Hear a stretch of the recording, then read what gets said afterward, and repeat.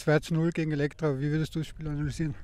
No, als klar würde ich das nicht bezeichnen. Der Gegner hat uns das in der zweiten Halbzeit ein bisschen schwerer gemacht. Was ist ein bisschen? Die waren auch von Anfang an äh, nicht einfach zu bespielen, gerade auf dem, auf dem Platz.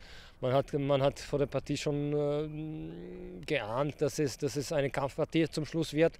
Und so ist die zweite Halbzeit auch äh, gewesen. Wir sind dann mit dem, mit dem, mit dem, mit dem schönen Treffer von Menzo dann relativ schnell in die Führung gegangen und dann haben wir das Spiel gut kontrollieren können.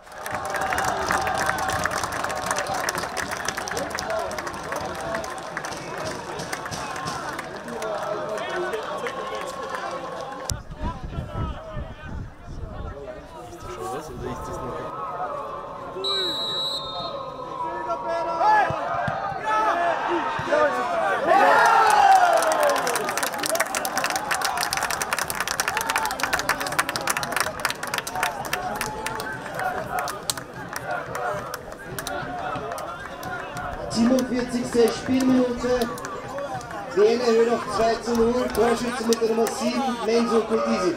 Wir haben ihn dann in der zweiten Halbzeit gut verteidigt, das muss man sagen. Wir haben aber nach vorne nicht so viele Aktionen gehabt. Aber auf der anderen Seite haben wir auch auf der Bank nicht den Eindruck gehabt, dass der Gegner äh, so gefährlich werden kann, um uns wirklich äh, das Bein zu stellen. Und wir haben das gut, gut über die Bühne gebracht. 2-0, wir haben zu 0 gespielt, Defensive war sehr stabil bin eigentlich mit der, mit der Mannschaft und mit dem Ergebnis, auch mit der gezeigten Leistung sehr zufrieden. Als Mannschaft haben wir, haben wir sehr gute Leistung gezeigt, nicht nur was die Defensive anbelangt, sondern auch im Spiel nach vorne.